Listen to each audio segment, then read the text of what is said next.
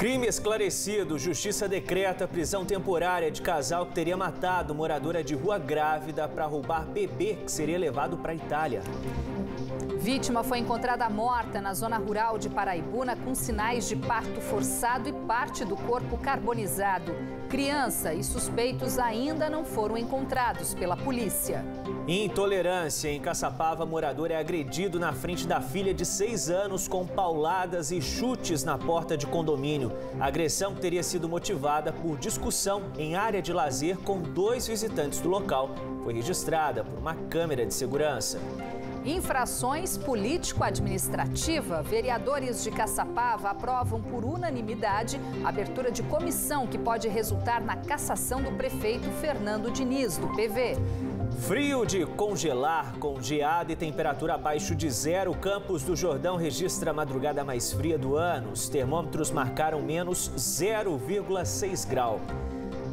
Paulista da segunda divisão, Águia do Vale São José se prepara para estrear na segunda fase da Bezinha contra a novidade do grupo, o time do Mauá. Cinema Solidário. No quadro Notícias do Bem, você vai conhecer um projeto em Taubaté que oferece oficinas para jovens e adultos apaixonados pela sétima arte. E conteúdos cheios de efeitos fazem o maior sucesso na internet. Esses são os principais destaques desta quinta-feira, 12 de julho. E você confere a partir de agora. Band Cidade, segunda edição.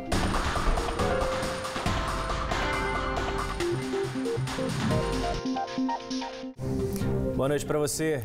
Olá, muito boa noite. Um crime bárbaro que chocou os moradores de Paraibuna no início do mês foi esclarecido pela Polícia Civil. Mas ela continua à procura do casal suspeito de assassinar uma mulher grávida para fugir com o recém-nascido.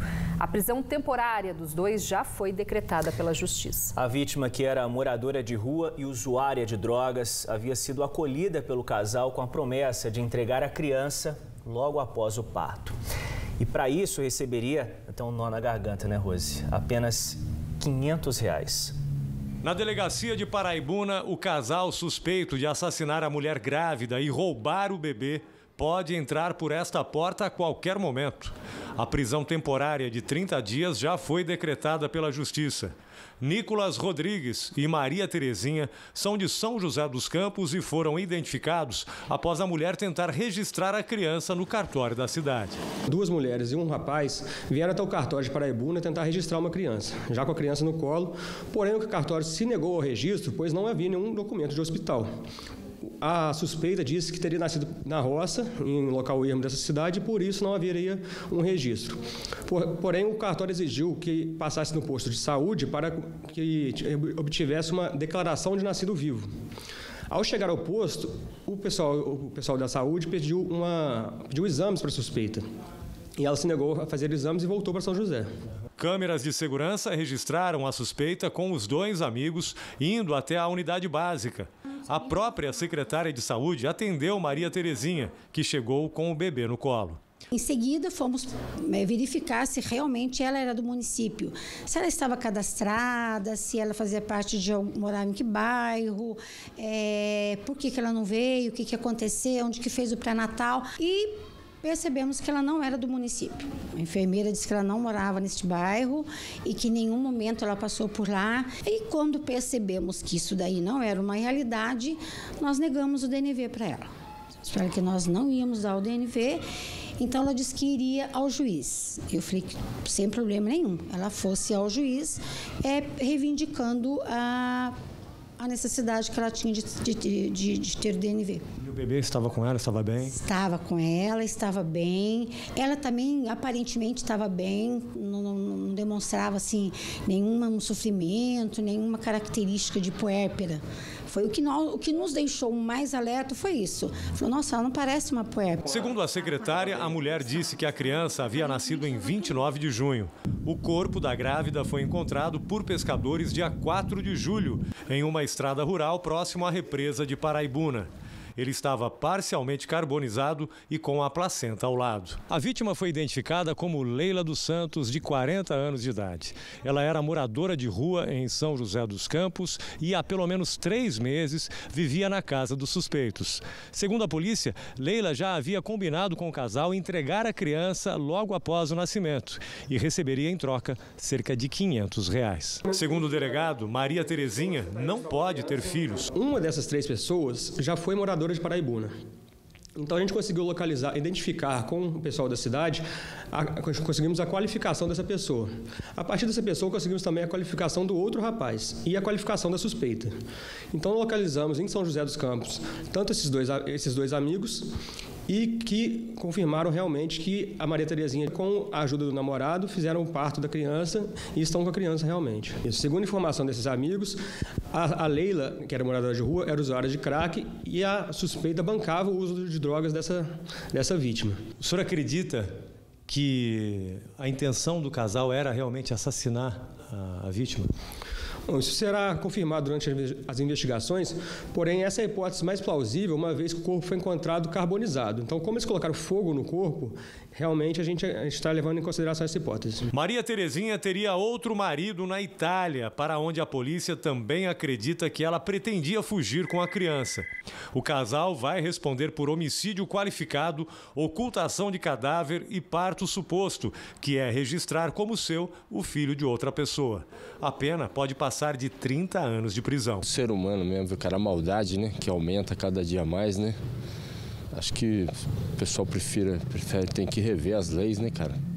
Dar uma reforçada, não sei, para melhorar, né? Pro, até pro Brasil mesmo, porque o negócio tá feio, né? Ninguém merece. Ela pode ter os problemas dela, os defeitos dela, mas não é justo. Prisão perpétua. Não tem outra coisa, que é muito absurdo. É uma pessoa sem coração.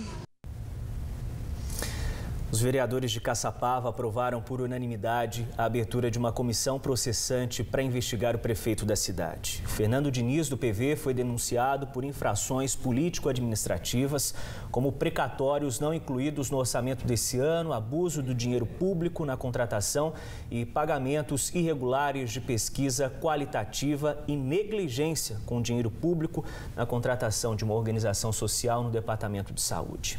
A CPI tem 90 dias dias agora para apontar um relatório que pode pedir a cassação do mandato do chefe do executivo. Por meio de nota, o prefeito informou que assim que for notificado sobre a comissão, vai responder todas as acusações e ressaltou que sempre agiu dentro da legalidade. Uma decisão da Justiça de Aparecida suspendeu o processo seletivo para a contratação de profissionais de saúde aberto pela empresa GAMP, Grupo de Apoio à Medicina Preventiva e à Saúde Pública, que recentemente assumiu a gestão do setor de saúde da cidade.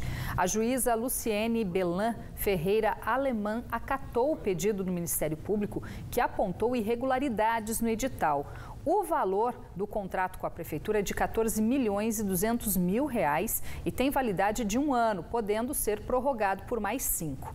Por meio de nota, o grupo GAMP informou que, em comum acordo com a prefeitura, acatou a decisão da justiça e vai realizar um novo processo seletivo em Aparecida. A prefeitura também, por nota, disse que os serviços nesse período não serão prejudicados.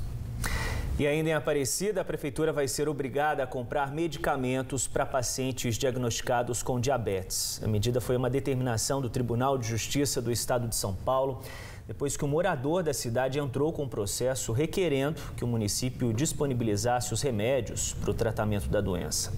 De acordo com a decisão, se o poder público não comprar os medicamentos, a multa diária vai ser de 500 reais. Por nota, a Prefeitura de Aparecida disse que vai cumprir a decisão. Depois do intervalo, Serra congelada, Campos do Jordão registra temperatura abaixo de zero. Madrugada de hoje foi a mais fria do ano. E ainda a discussão termina em violência em Caçapava. Homem é agredido a pauladas após desentendimento em um condomínio da cidade. Hora certa para você, 6 horas e 59 minutos. Band Cidade está de volta em instantes.